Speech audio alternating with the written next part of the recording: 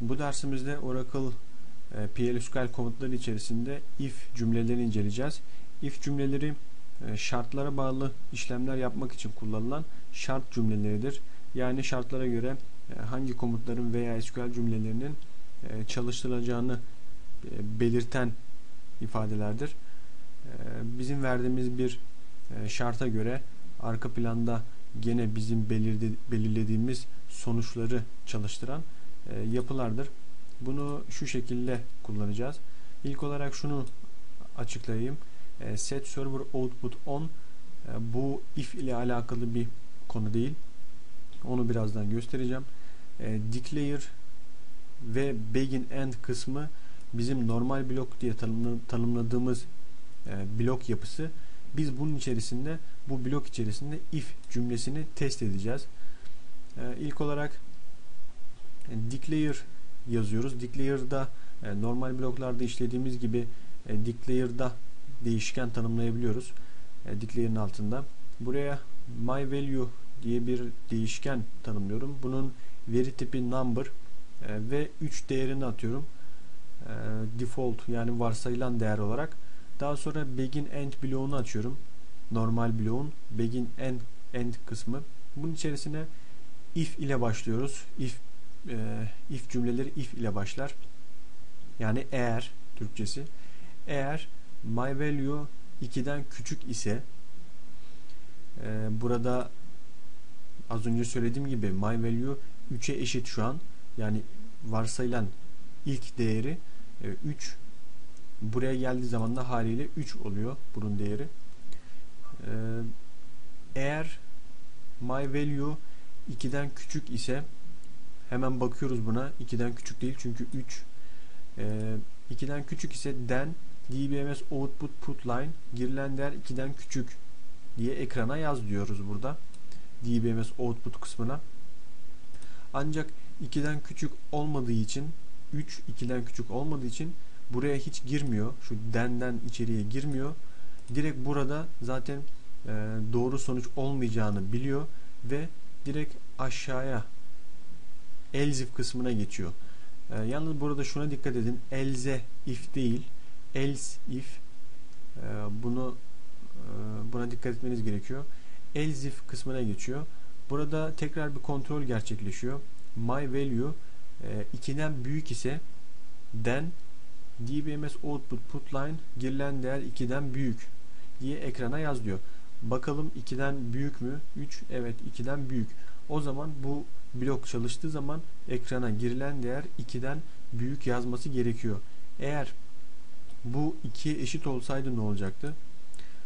O zaman buraya da girmeyecekti. Direkt en son yazdığımız kısma else kısmı e, yani bunların hiçbiri olmuyorsa en sonunda else yazıyoruz. Bu sefer bunların hiçbiri olmadı. E, o zaman budur gibisinden bir cevap oluyor. O da eşit oluyor bu durumda. Daha sonra if bloğun e, if cümlesini kapatıyoruz and if ile. Şimdi bunu çalıştıralım şu şekilde. Ekrana yazması gerekiyor bunun.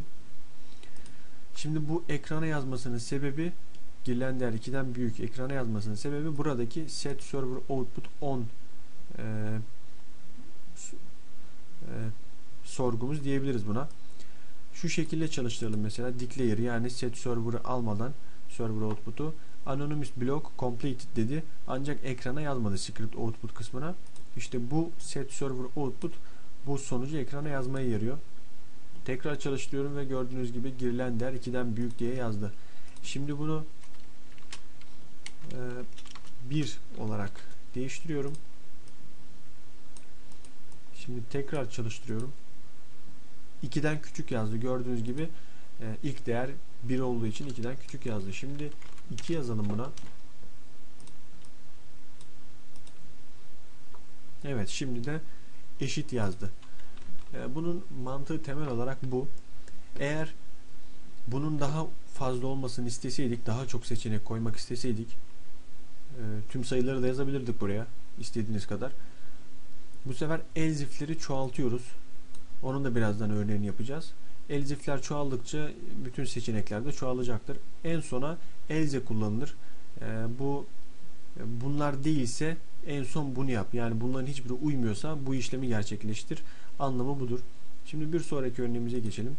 Burada da gene set server output ile başlıyoruz. Şu şekilde belirgin hale getireyim if cümlesini. Burada da bir yaş hesaplama işlemi var. Set server output on declare ile tanımlama yapıyoruz. Yaz diye bir değişken tanımlıyoruz. Değişkenin veri tipi number ve 31 değerini atıyoruz buna. Ee, 31 değeri şu şekilde değerini atadık burada. Daha sonra begin bloğu begin bloğunu açıp kapıyoruz. İçerisine de if şartlarımızı cümlemizi yazmaya başlıyoruz.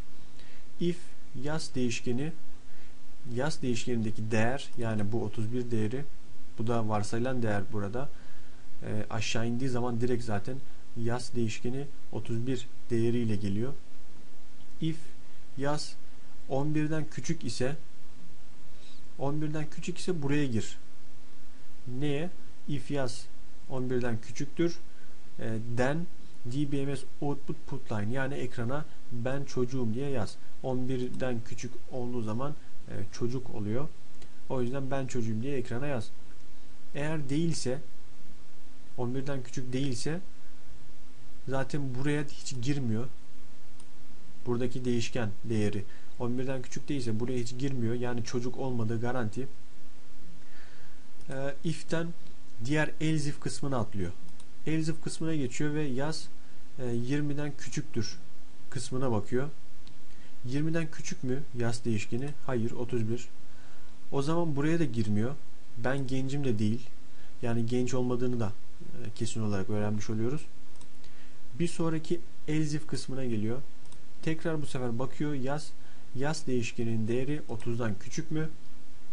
Bakıyoruz hayır 30'dan büyük 31.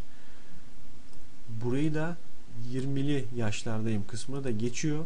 Oraya da hiç girmiyor. Yani sırayla sadece buraya bakarak geliyor. Buralara bakıyor. Şarta uyuyor mu uymuyor. Uyuyor mu uymuyor. En son buraya geliyor. Elzif yaz e, küçüktür 40. 31 40'tan küçük mü? Evet doğru. 31 40'tan küçük. O zaman den GBMS output put line 30'lu yaşlardayım. Bunu ekrana yazdırıyor. Eğer bu da olmasaydı mesela 41 olsaydı gördüğünüz gibi en büyük değerimiz 40'tan büyük 40'tan küçük mü kıyaslaması oluyor. Eğer 41 olsaydı bunların hiçbiri çalışmayacaktı. Ben her zaman gencim çalışacaktı. Çünkü 40'tan büyük olacaktı. E, bu şekilde sorgumuzu gerçekleştiriyoruz. Şimdi bunu da çalıştırdım. 30'lu yaşlardayım. Doğru mu? Evet. Bizim hesapladığımız gibi doğru bir sonuç çıkardı. E, 11 e, 31 40'tan küçük yani 30'lu yaşlardayım. Bu şekilde if cümleleriyle e, çeşitli şartlara göre e, işlemler gerçekleştirebiliriz.